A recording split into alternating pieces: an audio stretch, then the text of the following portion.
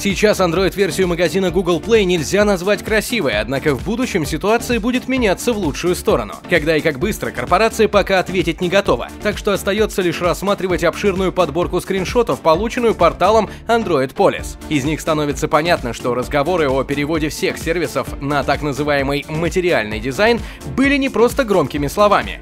Яркие цвета, строгие линии и крупные изображения – все это ляжет в основу перевоплощения Google Play. Насколько такой интерфейс будет удобным, можно только гадать.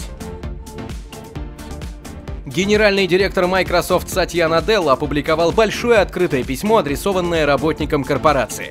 Многие из озвученных в нем тезисов будут интересны не только им, но и инвесторам, а также простым пользователям продуктов компании, которые хотели бы знать о грядущих изменениях. В недавнем прошлом, говорит Наделла, мы позиционировали себя как компанию устройств и сервисов. Это хорошее начало для трансформации. Но теперь пришло время сосредоточиться на новой уникальной стратегии. Лейтмотивом всего сообщения можно считать следующие слова. В своей основе Microsoft — это компания продуктивности и платформ для мобильного и облачного мира. Мы переосмыслим само понятие продуктивности, чтобы позволить каждому человеку и каждой организации в мире делать больше и достигать большего. В общем, слово «мир» встречается в письме больше 20 раз, так что в глобальности планов Microsoft можно не сомневаться. Изменения будут масштабными и всеобъемлющими. Они затронут каждый аспект устройства корпорации, от скорости принятия решений на всех уровнях до работы с персоналом. Похоже, преемник Стива Балмера нашел в себе смелость увидеть необходимость таких изменений и, надеемся, найдет смелость их реализовать.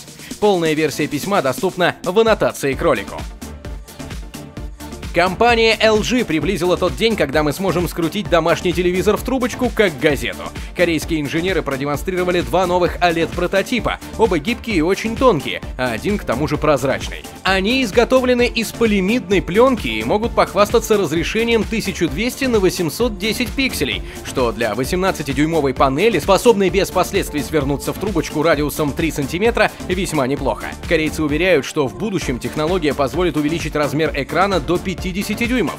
Можно потихоньку копить деньги, ведь LG рассчитывает представить первые серийные образцы к 2017 году. Больше новостей ищите на 3dnews.ru. До встречи, друзья!